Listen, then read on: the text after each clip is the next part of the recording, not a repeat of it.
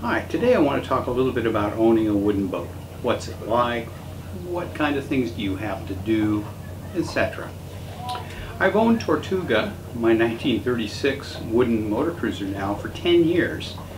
So I got a pretty good feel at this point for most of the factors involved.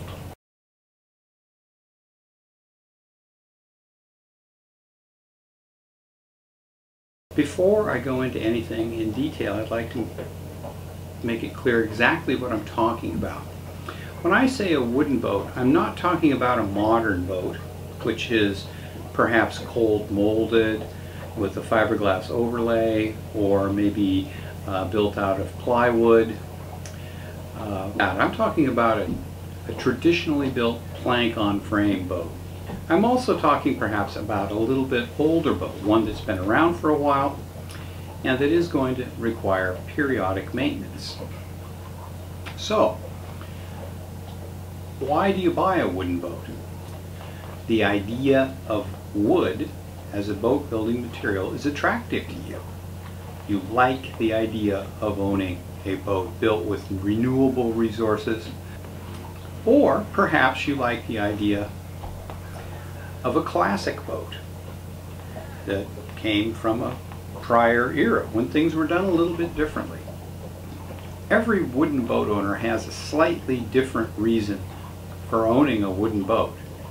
But I think those two things are probably pretty common in terms of reasons that people actually go out and buy a wooden boat.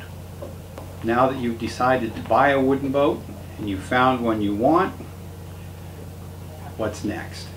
You are going to run into some issues First off, a lot of lenders won't lend you money to buy a wooden boat. So in many cases you're going to be looking at a cash purchase, which means you're going to have to have all of the money on hand to buy the boat, as well as have whatever money is needed to do any repairs that are needed or upgrading that you might want to do. Fortunately, unless you're buying a really big boat, the cost of a wooden boat is not that outrageous in most cases, particularly compared to a new fiberglass boat. So, you know, you can probably come up with the cash if you save a little bit. There are a few lenders who will lend you money for the boat, but only after a very good survey that really finds no problems with the boat. So if there are any issues with the boat, it's going to be tough to get financing. After that, you come up against insurance. Well, a lot of insurers won't even touch, say, a 30-year-old fiberglass boat. And the number of insurers that will actually insure a 50, 60, 70 year old wooden boat is pretty small. So you're going to have to probably find a specialty insurer to cover the boat. And if you finance the boat, insurance is going to be a necessity. Now I would suggest very strongly that when you're looking for insurance that you only consider what are called agreed value policies. The other kind of policy which goes on a depreciated value is probably going to that your boat is essentially valueless if anything happens to the boat. At least with an agreed value policy, if anything happens, anything catastrophic happens, you will get the agreed value back. Okay, what else? Well, say now you've bought the wooden boat, you figured out how to pay for it, you either paid cash or you found a compliant lender and the boat surveyed really well. What about owning the boat? Well, a couple of things are going to happen. If you bought a true classic, people are going to look at the boat and be interested in it. So you're going to have to know a fair bit about it and be willing to talk to people about it and tell them about your boat. This usually isn't a big problem with boat owners, particularly wooden boat owners. We tend to be a group that really enjoys sharing what we know about our boats and what makes them unique. So that's not really much of an issue, but you will have people walk up to the boat and look at it. My boat is in a marina here in Maine and every summer I get dozens of people walking over to take a look at the boat. And most of them ask, if I'm there, ask questions, and would like to know as much as possible about the boat. So I have to be prepared to spend a little bit of time telling them about the boat. So now that you've bought the boat, you're comfortable talking about your boat to other people. What about keeping the boat? Well, if you want to keep a wooden boat in top shape, you are probably going to have to do a certain amount of maintenance. That maintenance can involve replacing the plank occasionally, maybe sistering a frame, recanvassing a cabin top or a deck, or more commonly, painting the boat, varnishing any exterior wood. These are things that normally happen every year. I know I paint my boat every year to make sure that it's in good shape.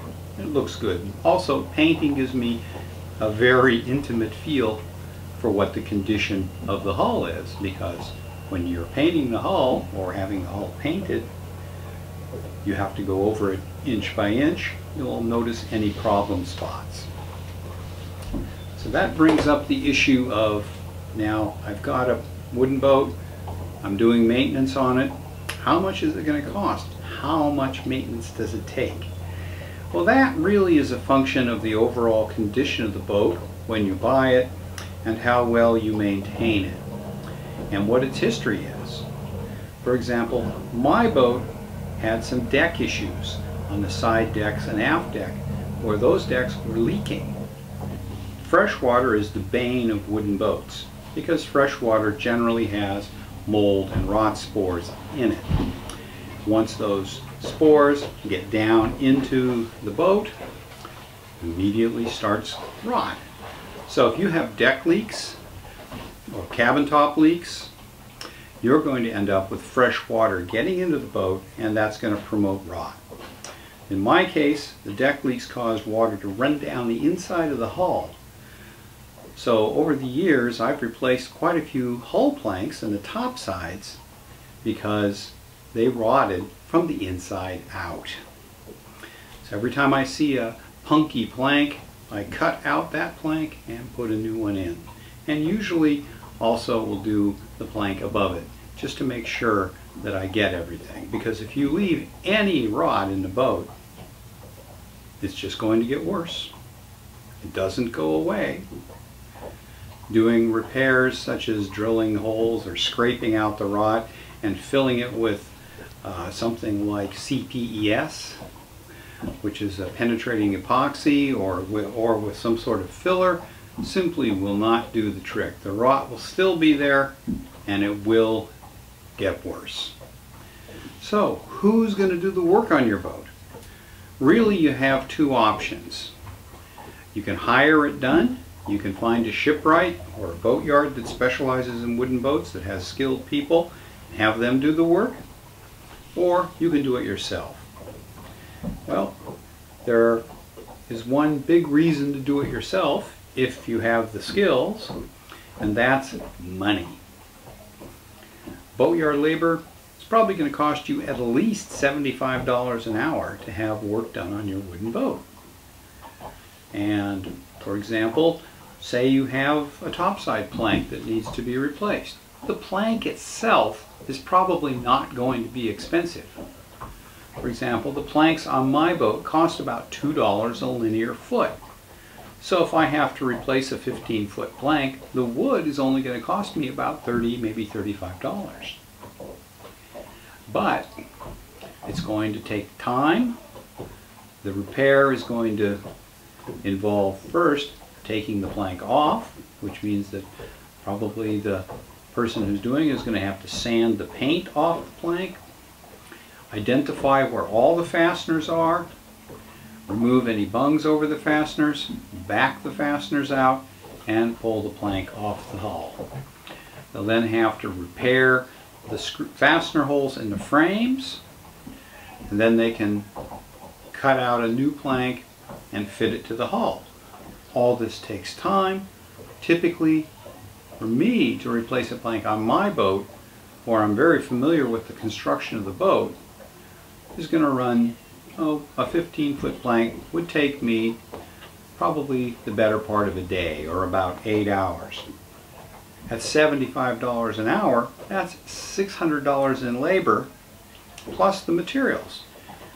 In addition, you're probably going to find something else that's wrong. Because if you have a plank that's rotting, fresh water must be getting to it somehow. Either your coatings have failed, your paint has failed, and it's letting water get into the boat from rain. You've got a leak in the deck that's letting water get into the inside and rotting the plank out. So you really need to track down the reason that the plank was rotted. You might and fix that. You might also have some rot in the frames. Well, that means you're either going to have to sister the, the frame that's rotted or perhaps remove it and scarf in a new piece of wood. A simple plank replacement can easily cost a couple thousand dollars by the time you track down the reason the plank needed to be to be replaced and do any additional repairs that might be required. And every time you work on a wooden boat, and I'm not, doesn't matter who's doing the work, boatyard or you personally, whenever you attack an individual problem, you will always find that the problem is bigger than you thought. So what's it cost to own a wooden boat? Well, my boat, in a typical year, gets about 200 man hours of maintenance. That is, a large part of that is sanding the hull out, repainting it, repainting the trim, repainting the bottom, uh, sanding out and varnishing the cabin house, and possibly doing any upgrades that I might want to do. In addition, since as I said I had some deck leak issues, I generally find myself replacing one or two planks a year, which adds up. And last year, for example, I laminated five new frames and, replank, and replaced seven planks. So that was a pretty big project. Last year I probably put 300 hours in. Well, 300 hours at boatyard rates would run $22,500 at least, maybe more depending on where you are. Uh, if you only did 200 hours, that's $15,000 plus any materials you use. If you're paying to have it done, I would say that you have to count on with a typical wooden boat that needs some maintenance, you're probably going to have to count on anywhere from ten to twenty thousand dollars a year. If you're doing it yourself, you're going to have to have a couple of hundred hours available to do the work. So it's time consuming if you do the work yourself and expensive if you don't. For example, since I've owned my boat for 10 years, I estimate that I have about 4,000 hours of labor in this boat. Well, 4,000 hours, $75 an hour, $300,000. And I also have maybe $20,000 in materials.